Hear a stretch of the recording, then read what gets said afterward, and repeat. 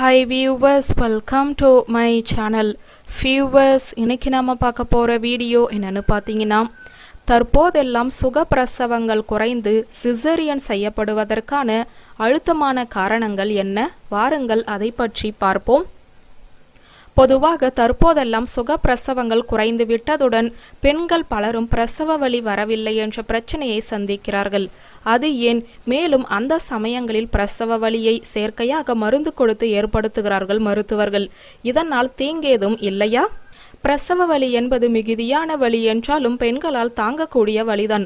ஆனால் பிறரை மிகைப்படுத்தி சொல்வதை கேட்பதால் இன்று பல பெண்களும் சுகப்பிரசவ வாய்ப்பிருந்தும் மருத்துவர்களை சிசேரியன் செய்ய சொல்லி வற்புறுத்துகிறார்கள். இதன் பேரில் சில மருத்துவர்கள் சிசேரியன் செய்ய முடிவெடுப்பதும் நடக்கிறது. ஆனால் சுகப்பிரசவத்திற்கான உடல் வலிமை இயற்கையாகவே இருக்கிறது என்பதை உணர்ந்து அதற்கான மன வலிமையை ஒவ்வொரு பெண்ணும் பெருக்கிக் கொள்ள வேண்டும். கர்ப்பப்பை வாய் திறக்கவில்லை.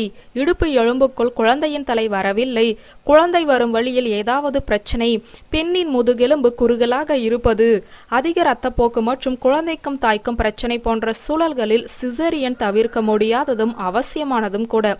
சிலருக்கு பிரசவ தேதி கடந்தும் வலி ஏற்படாமல் போகும். இது ஏதோ இன்று பெருகியுள்ள புது பிரச்சனை அல்ல. சென்ற தலைமுறையிலும் இருந்தது. ஆனால் வலியை உண்டாக்கும் ஊசி ஜெல் என்று அதற்கான வலி ஊக்கிகளின் பயன்பாடு அரிதாக இருந்தது. இன்று அது அதிகரித்து இருக்கிறது. இதனால் சில பக்க விளைவுகள் ஏற்பட வாய்ப்பு இருக்கிறது. இதய துடிப்பு குறைதல் விட்டு விட்டு வலி ஏற்படுதல் போன்றவை வரக்கூடும். இந்த நேரத்தில் மருத்துவர்கள் மிகவும் கவனமாக இருக்க வேண்டியது அவசியம்.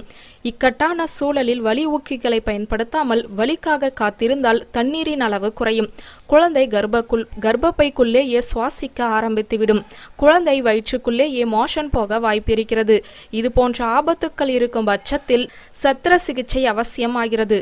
பொதுவாக வலி ஊக்கிகள் பயன்படுத்தினாலும் மருத்துவர்கள் சுகப்பிரசவத்திற்கும் தயாராகவே இருக்க வேண்டும். சிக்கல் ஏற்பட்டால் மட்டுமே சத்திர சிகிச்சை செய்ய வேண்டும். ஃபியூவர்ஸ் இந்த வீடியோ உங்களுக்கு பிடித்திருந்த லைக் கமெண்ட் ஷேர் பண்ணுங்க. நன்றி.